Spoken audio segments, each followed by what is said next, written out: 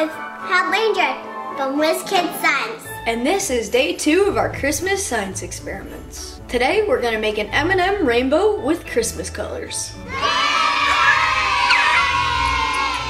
First, we're gonna make a ring of M&Ms around the outside of our plate.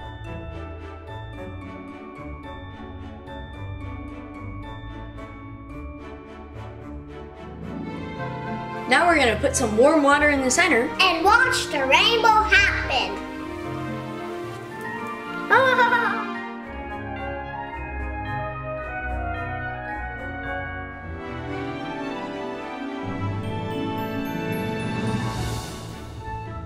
Thanks for watching day two of our Christmas science experiments. Stay tuned for day three tomorrow. Goodbye. Don't forget to subscribe.